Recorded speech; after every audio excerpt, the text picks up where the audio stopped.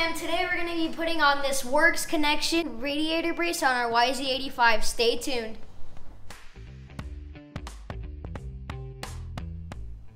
All you need is an 8mm T-wrench like this one. The first thing we're going to do is remove the shroud by taking off the shroud bolts.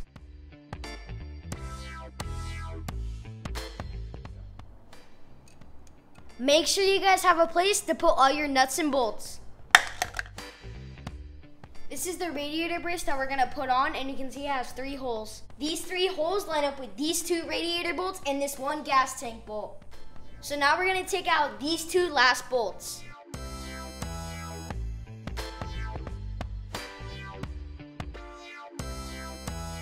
So we're gonna replace this gas tank bolt with this new long bolt and a spacer. Take this long bolt and this spacer and we're gonna put it where the old bolt used to go.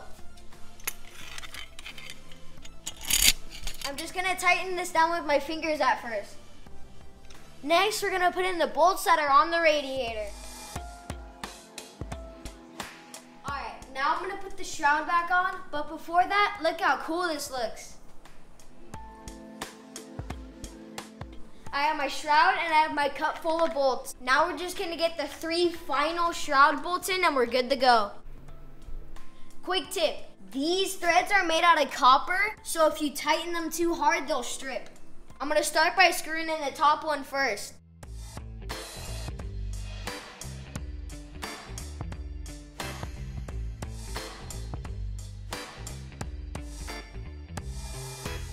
Now that we have the shroud on, I just have one last thing to do.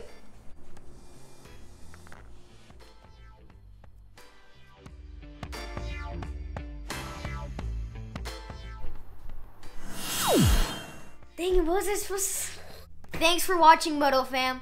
If you like that content, like this video. We'll see you on the next one. Peace.